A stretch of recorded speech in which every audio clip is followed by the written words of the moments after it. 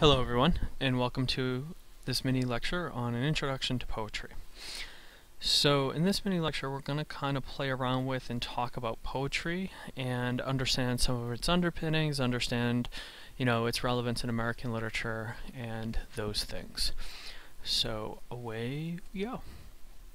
So some things you should know about poetry or understand about poetry in order to better value it. And I'll say from my own experience, I'm not a big poetry fan, right? I don't find myself yearning to sit down and read a book of poetry or even read a single poem or two.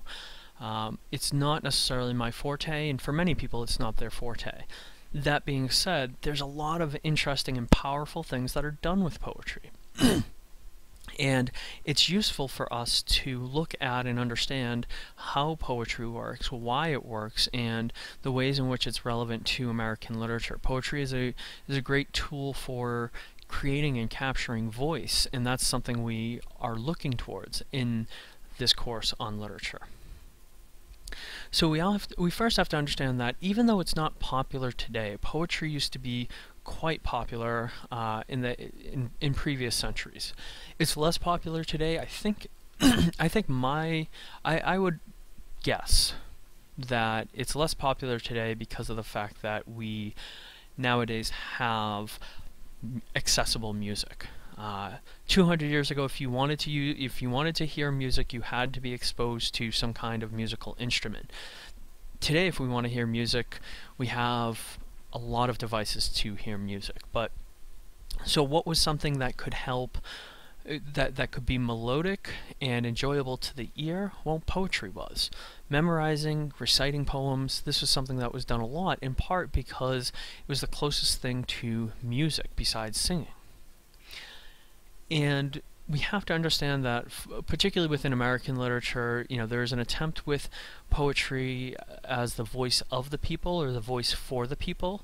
That is, there's a, there's a there's a big tie with poetry and the people, and by the people I mean masses of people. Uh, we'll talk about how Walt Whitman really tries to capture the voice of the people. Uh, but there is certainly a lot of connection between the popularity of, of poetry, it being a a medium, or I shouldn't say a medium, but it's a genre that was largely for people uh, of all different backgrounds, and trying to capture um, capture that and capture the world around it. We have to understand that the power of poetry is, is often not in the reading of it. Poetry uh, at least for, for much of its history, was not meant to be read, you know, sitting down in a chair by yourself in your own head. There is performance that goes hand in hand with poetry, and this goes all the way back to the ancient epics. Um, that you know, reading poetry has been a tradition long held in cultures throughout the world. But in this case, you know, when we think about poetry, it, especially the poems we read in this class, they're not just there to be read, they're there to be spoken. In fact, poetry is considered part of the spoken word tradition. And to really enjoy a poem, you have to read it aloud and you have to hear it aloud. Reading it on the paper doesn't work, uh, or it can work, but it's a very limited way of listening uh, or of enjoying poetry. In order to understand it, in order to appreciate it, you need to read it on the paper, but read it aloud and listen to it and really hear everything within that poem. Because a lot of poems are focused on sound and how they sound and what they're projecting with sound. So you do want to pay attention to that. And I'll tell you, in my own experience, I'm not, as I said, I'm not a fan of poetry, but I find I appreciate, understand, and can and can get to the gist of a poem much better when I read it aloud or when I listen to it uh, aloud while reading the words. And that's one of the big things is that poetry is centered on patterns of sound, right? You may have heard of iambic pentameter, which is a very popular metered sound for epic poetry, for um, Shakespeare, right? It's a pattern of sound that is is well known, but there are lots of different ways you can pattern sound. And when we talk about patterns of sound, we can mean, you know, a strong and then a soft sound, a soft and a strong sound, sounds, you know, soft, soft, hard, hard, hard. So you can mix around the the intensity of the sound, you can mix around how words are stretched out, all of those things, but it's around patterns of sound and that the poem's content is important, but so too is how that content sounds to the listener. We also have to recognize that there is an author of of every poem, but that author isn't always the speaker of the poem. Right? So be aware of that just like with fiction, right? You have the author of the story, but then you might have a character telling the story, right? When we read The Black Cat, nobody assumes that the I in that story is Edgar Allan Poe. Well, we have to also remember that the that there may be a fictional speaker telling us this poem, that it is not necessarily the author telling us this poem. And it's sometimes hard to tell, and we, we have to be careful about making that assumption or that leap. We also want to be aware of lines, verses, grammar, punctuation. We want to pay attention to how the author has created the poem and structured it. That structure gives us hints, gives us ideas. Eh, you know, they're often playing with it for effect. And we generally don't want to read to the line, we want to read to the sentence if we're going to make sense of things. We want to understand the sentence in full and then go back and look at how and why the author broke that sentence up into lines.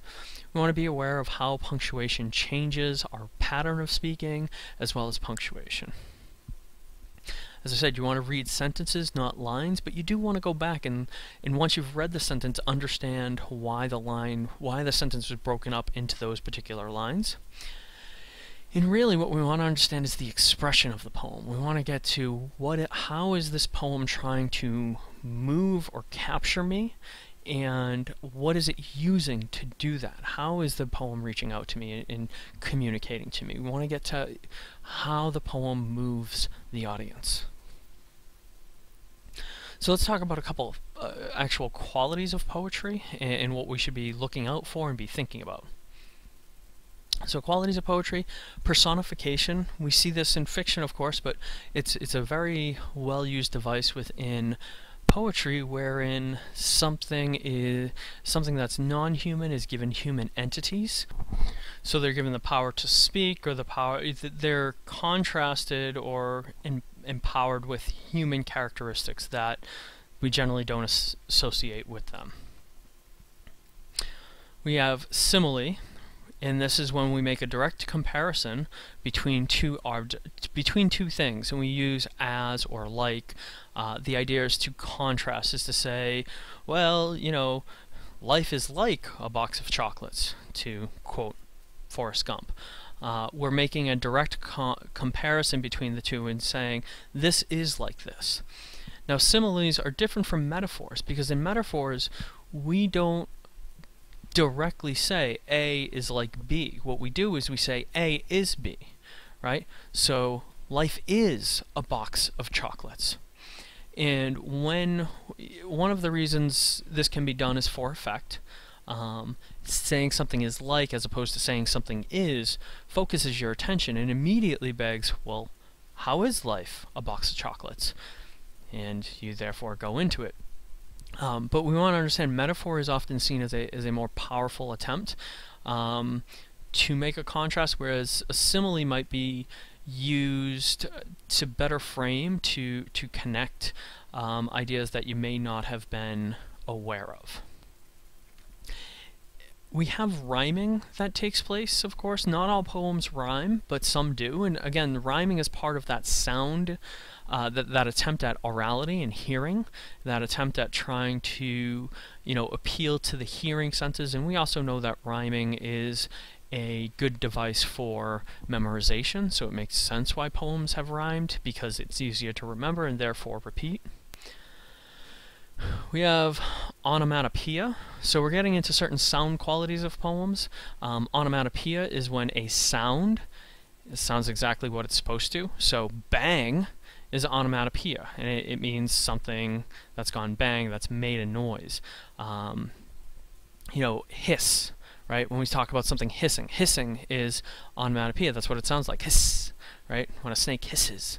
Um, so we want to be aware of how the author, how the poet is shaping our oral landscape and what kind of onomatopoeia, what kind of rhyming is being used.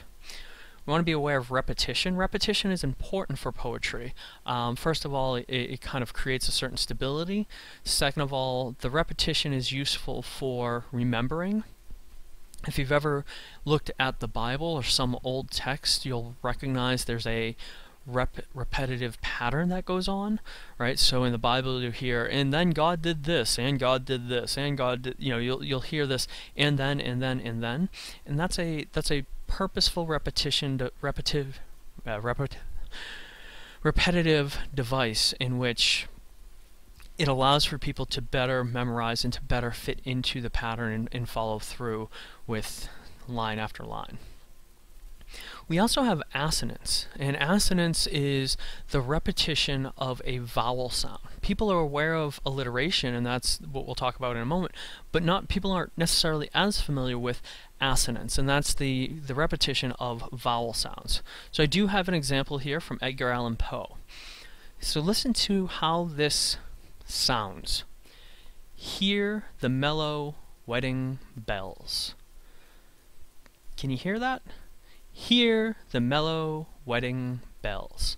That repetition of that E sound throughout. Right? You have those uh, particularly mellow wedding bells. So assonance is is a very useful tool, and it's a very subtle tool that you're not always aware of, particularly in contrast to alliteration. And alliteration, you may be familiar with, you know, Sally sells seashells by the seashore, right? It's the repetition of consonants whereas assonance is the repetition of vowels. And both are used, again, to kind of, uh, to make a poem sound orally more engaging or to grab our attention or to put us in certain moods, right? That hear the mellow wedding bells. There's a, there's a there's a soothingness to that sound, right? The repetition of the E is a very soothing sound versus, you know, cat kicked the can, right? That the consonants and an alliteration is, is a very different feeling and vibe. So when we look at Emily Dickinson and Walter, uh, Walter, Walt Whitman, we're going to have to deal with free verse poetry. And much of poetry up until the, the 1800s is set up in some kind of traditional format. You know, you have a variety of, you know, some people are familiar with things like limericks and haikus, uh, sonnets, and each of those have a particular standard or have particular rules. And with free verse poetry, we get into this idea of there are no rules. That's that's how free free verse poetry has been pitched. I don't think that's entirely true. If we're talking about free verse poetry, what's happening in free, verse, free verse poetry is that the authors are no longer aspiring to a particular type of poetic format, but they're saying the rules and the laws guiding this poem are embedded in the poem. They're not found elsewhere. They're not created elsewhere. They're created by the poem and wherein the poem feels the rules need to be. So some people don't see that as a significant difference from just being able to write whatever you want, but I think a lot of poets that do end up writing free verse, they are creating rules, but they're rules that are guided and limited to that poem alone, um, and, and are subject to that poem alone. And so one of the major people that do this, is, of course, is Walt Whitman, and of course we'll also look at Emily Dickinson. But these are the you know two of the major people that start to change our understanding of poetry and, and move into this idea of free verse. All right, so what else do we need to know? As you get into poems and you start reading them, here are some things you want to be asking. You want to think about and you want to jot down your ideas. It's really important when we come to poetry that you you know, they may poems may be small, but that doesn't mean they're easy. And so you want to make sure you spend a good amount of time with each poem. And as you read it and after you read it, these are the questions you want to be thinking about. What is the tone and atmosphere of the poem? And how do you come to that conclusion? What tells you that a poem is dark and demeaning you know dark and and horrible and and, and tragic? Uh, what tells you that the the poem is happy and go lucky? Are you sure that's what's going on, or is the author being ironic? Is the author trying to you know make something horrible seem good, or vice versa? What kind of rhyme does the poem contain?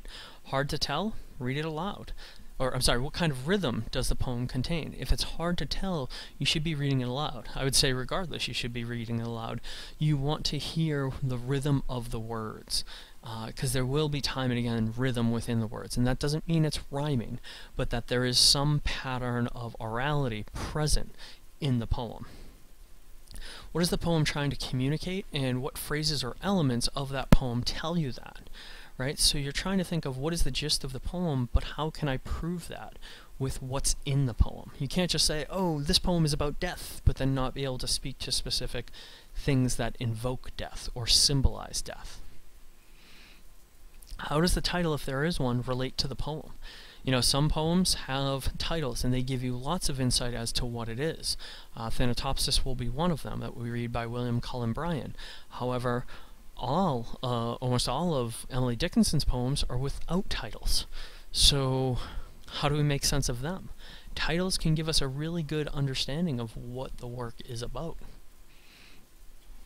What are definite symbols within the poem? What might be symbols within the poem? Uh, why do what do these symbols represent? So again, we're playing with symbolism. We're trying to understand what's behind the symbols that are present. What's behind these ideas? How do we how do we find a symbol and hold on to it and prove that it's the symbol we're talking about? And then where have you seen the ideas present in this poem in other readings from this course? How can you connect what you see in this poetry to anything that we've covered this far? We've waited until now to tackle poetry. It is, it is among the literary uh, genres we're looking at probably the hardest for us to, to deal with, which is why we're doing it. We've saved it to last. We've kind of built up our skills to this point. So now is the time to look at these poems and say, hmm, how does this connect with that? I've been doing this all semester. I should be able to, you know, make these connections at this point. Alright, that's all. Uh, thank you very much for listening and see you in the next lecture.